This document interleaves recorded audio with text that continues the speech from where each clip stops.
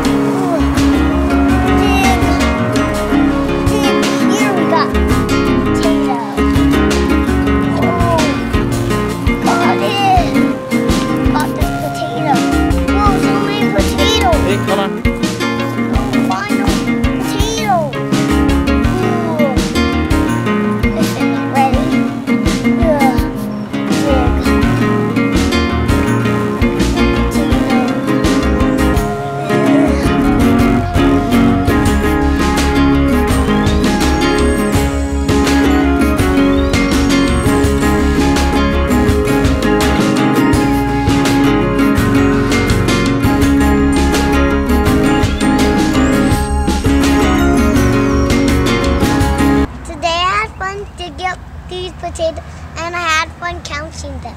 And I counted to 50 with them. But I need more. So these are Austrian fingerling potatoes, and we have a very good harvest from uh, one potato that was about this size. Surprisingly, they some of them have these extra nodules on them. It makes for a very interesting looking potato. With uh, summer coming around and things getting hot eventually, today's overcast and quite cool. Um, this area will get a lot of sun, and normally that's probably not a good spot to grow our potatoes, but we have this watermelon vine that's growing and we dug these out today because we're concerned that it's going to be difficult to get our potatoes later on when the vines grow in which in our case it's going to be a good thing because they're going to keep this area cool and we're hoping to be able to get potatoes in about three months. So these are um, red potatoes that we're going to plant now.